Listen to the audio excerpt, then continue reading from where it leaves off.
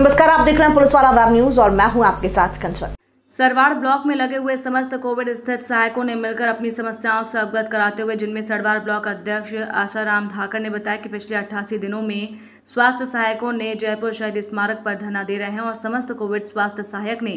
Corona जैसी वैश्विक महामारी में राजस्थान के लोगों की सेवा कर राजस्थान को कोरोना मुक्त कराकर साथ ही में वैक्सीन में राजस्थान को अव्वल नंबर कराया, मगर राजस्थान सरकार ने इकतीस मार्च 2022 को एक आदेश में कोविड सहायकों को सेवा समाप्त कर दी गई। ऐसे में कोविड सहायकों की सेवा वापसी बाहर करके सुविधा कैडर 2022 में शामिल करने की मांग को पूरी करने को लेकर आज सरवाड़ उपखंड अधिकारी सुभाष चंद्र हिमानी को मुख्यमंत्री के नाम ज्ञापन सौंपा गया। ज्ञापन में ब्लॉक अध्यक्ष आसाराम धाकर अंजलि, प्रधान माली हीरालाल भैरूलाल राहुल विष्णु रामस्वरूप अमीन आदि कोविड स्वास्थ्य सहायक मौजूद रहे।